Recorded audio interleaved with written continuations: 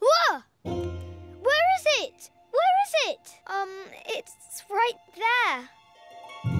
Well now, my cat would love a new toy.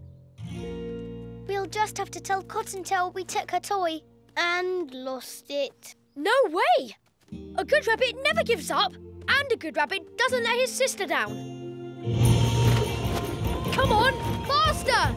We can do it!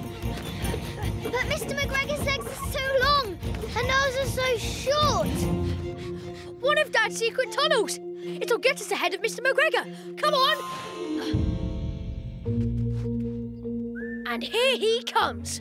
Time for you to do what you do best, Benjamin. I'm not so sure now's the time to eat, Peter. Not eat, dig. We need to trip up that wheelbarrow so we can grab the toy.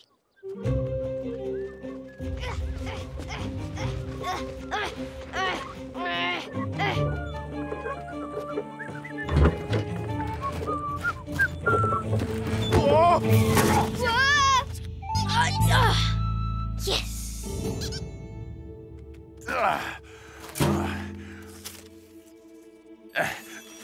Benjamin, no! Rabbit! Ah! You're mine, Rabbit! Come back here! Stop, Rabbit! Well, I've got one of you. The cat. Take my radishes, would you? Get off me, you cloth-eared cat! I'm not your squeaky toy. Got it. Oh, God! Ah. Oh, it's raining radishes.